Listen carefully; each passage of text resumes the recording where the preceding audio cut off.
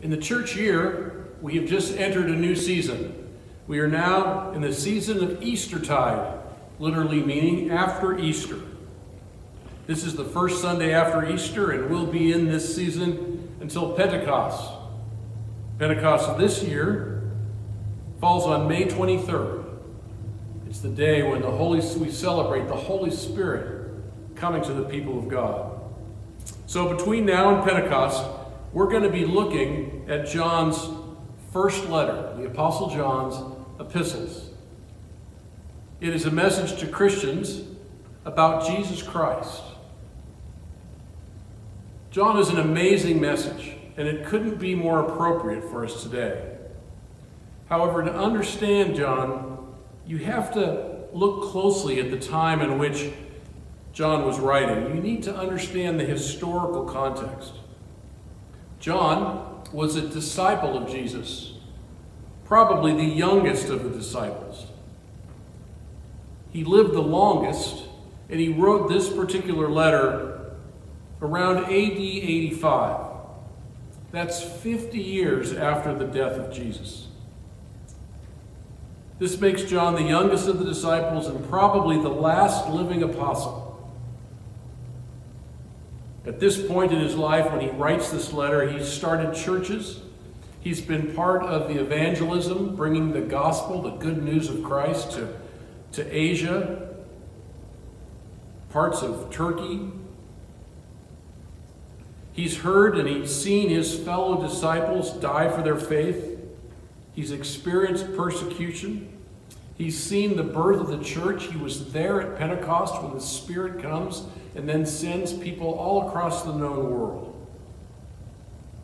He's seen Christians fleeing persecution to all parts of the Roman Empire. John also experienced the challenges of heresy that came to threaten the infant church when the church was just meeting in people's homes. This letter was written to address conflict in the church and to teach Christians what they were to believe and how we as followers of Christ should behave in a world that is hostile to us.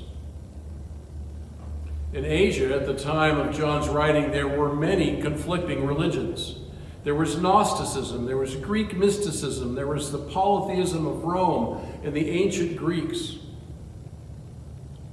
These are all just a few of, theology, of the theologies that threatened the church. And it was the early church. There were many religions that influenced thought and belief throughout the world at that time, but none of them were Christian. This was literally the, the beginning, the birth of the church.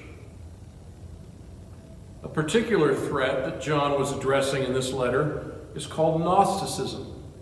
In Greek, the word for knowledge is gnosis.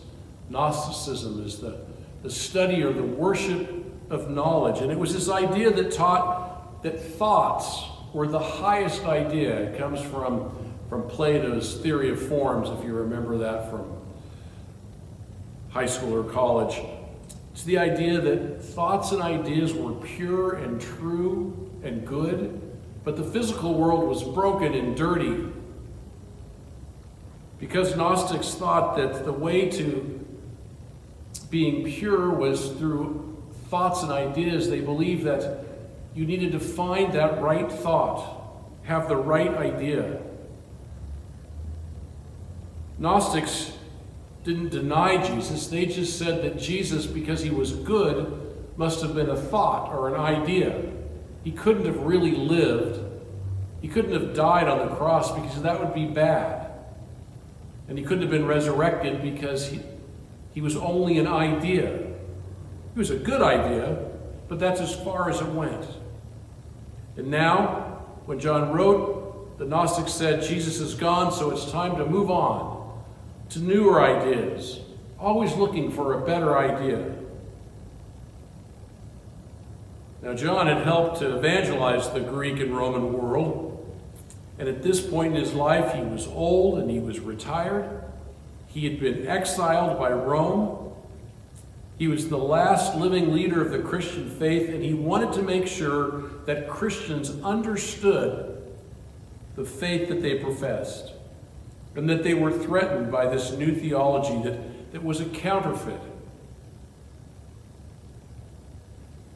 It claimed that Jesus had never been human, and that he only existed in idea or spirit. Gnosticism was the first real theological challenge to Christianity, apart from the Jews who opposed it because they felt that they were a spin off of Judaism. So, in the face of this heresy, John wanted his people to know who Jesus was, and he wrote these words in the first chapter of 1 John. So listen to the Word of God as it comes to us from 1 John. This is a lengthy text, but it is incredibly powerful. That which was from the beginning, which we have heard, which we have seen with our own eyes, which we have looked at, and our hands have touched, this we proclaim concerning the word of life. The life appeared. We have seen it and testified to it. And we proclaim to you the eternal life which was with the Father and appeared to us. We proclaim to you what we have seen and heard, so that you may have fellowship with us. And our fellowship is with the Father and with his Son, Jesus Christ. We write this to make our joy complete. This is the message that we have heard from him and declare to you. God is light, and in him there is no darkness at all. If we claim to have fellowship with him, yet we walk in darkness, we lie, and we do not live in the truth. But if we live in the light and walk in the light, he is in the light, and we will have fellowship with one another. And the, and the blood of Jesus, God's Son, purifies us from all sin. If we claim to be without sin, we deceive ourselves, and the truth is not in us. If we confess our sins, he is faithful and just and will forgive us our sins and purify us from all unrighteousness. If we claim we have not sinned, we make him out to be a liar, and his word has no place in our lives. Dear children, I write this to you so that you will not sin. But if anybody does sin, we have one who speaks to the Father in our defense Jesus Christ, the righteous one. He is the atoning sacrifice for our sins, not only for ours, but also for the sins of the entire world. This is the word of the Lord. Thanks be to God. In this amazing text, John, the last disciple of Christ, gives his testimony. He calls it like he sees it. He tells the truth to those who would distort it and counterfeit it. He says, This is what we believe, and this is how we live. He says, What I'm going to tell you is the truth. I know it's the truth because I've seen it, I've touched it, I've been there. It's the real truth. Whether you believe it or not, God came to this world in Jesus Christ. And because he came, we can know God, our Creator. God became flesh so that you might be able to have a relationship with him. You may think the flesh is bad, but let me tell you, it's not. God became flesh in order that he might remove the sin, the brokenness, the stuff that separates us from him, and the darkness that infects all of creation. You may think that Jesus was just an illusion or a spiritual image of what is real, but I tell you, God is real, and He came in Jesus Christ. If we believe this, we live. If we recognize that our hope is in God, we live. This is the message of Easter. However, if we think that we are sinless, we are fools. He's saying you Gnostics have it wrong. There's not a particular idea that you have to grab hold of. It's a relationship. God is real. He's not distant in, in spirit form. God is real. He is the light that chases out the darkness. And He's here. He's really here. And because He's real, we can have our lives really changed.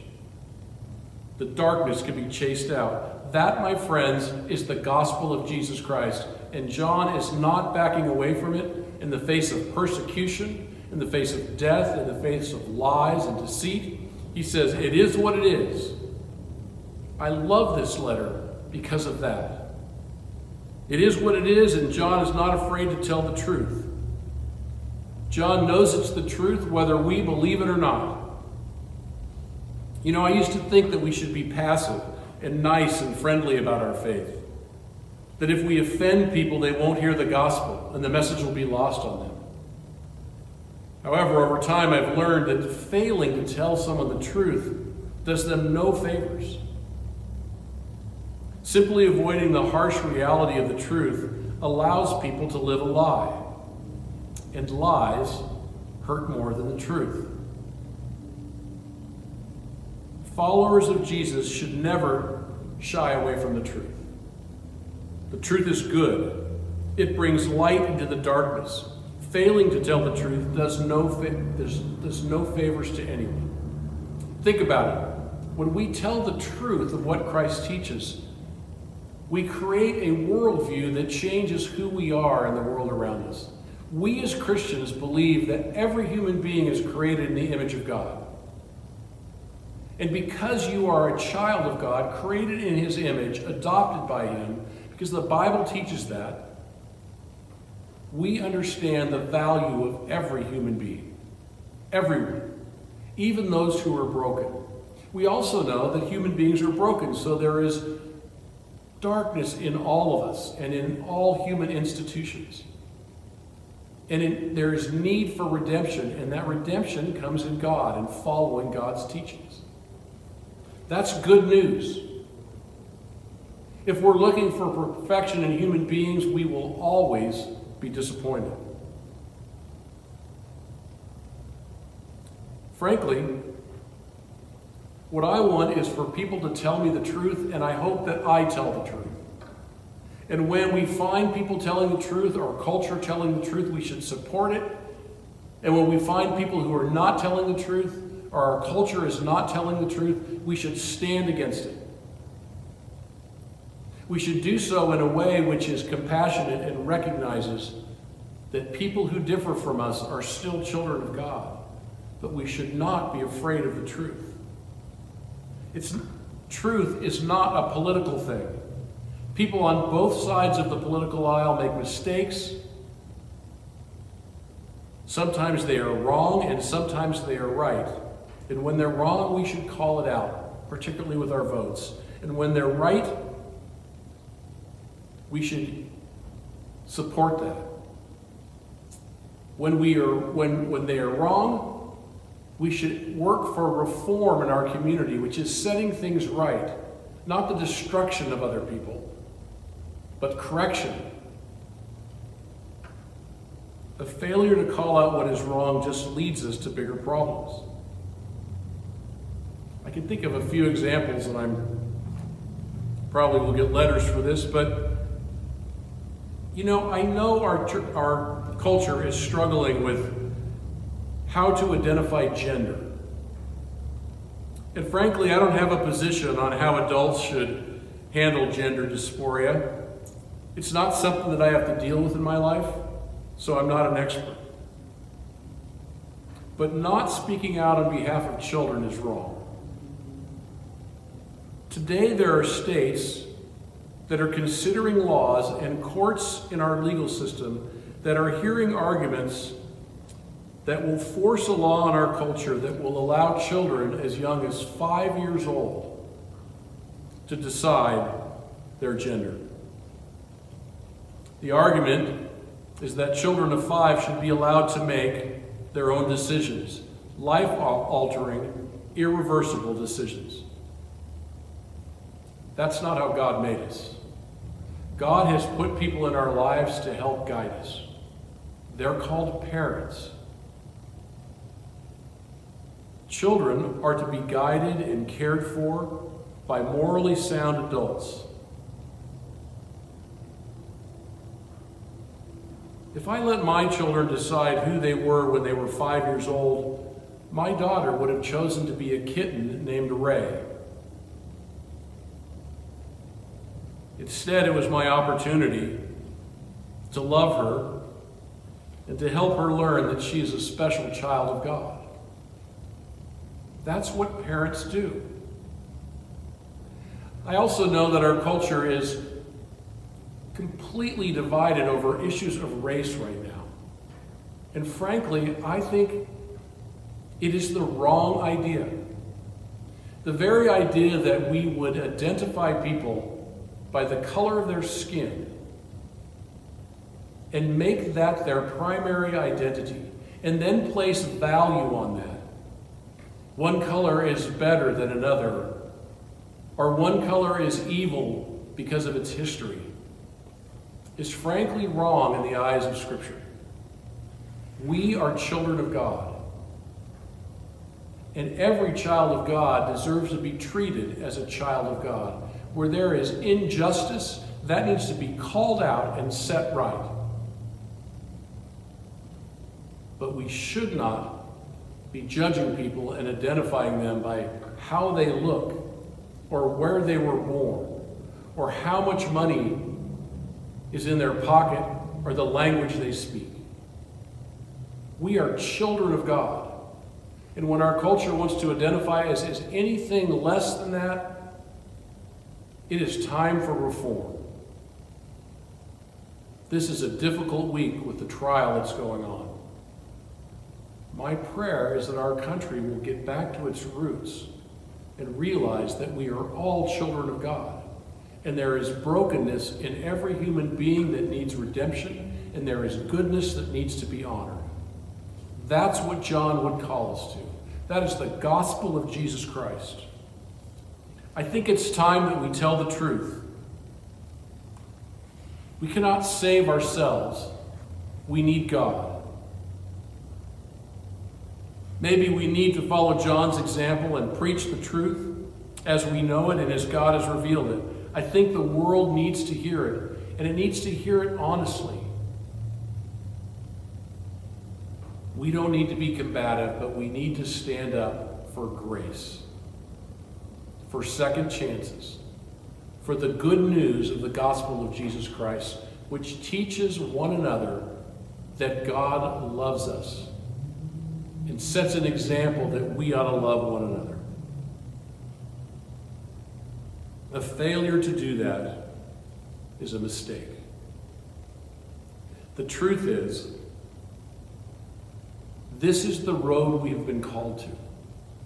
It's the path that we need to stay on. The map is clear. But if we veer off our course, the map will mean nothing. And we will find ourselves somewhere where we don't want to be. Let us pray for our nation and for ourselves that we might follow the truth. Let us pray. Gracious God, call us back to righteousness. Help us to stand up and speak the truth. And God, let us do so compassionately, recognizing that we are all created in your image, that we are children of God. We pray this in Christ's name.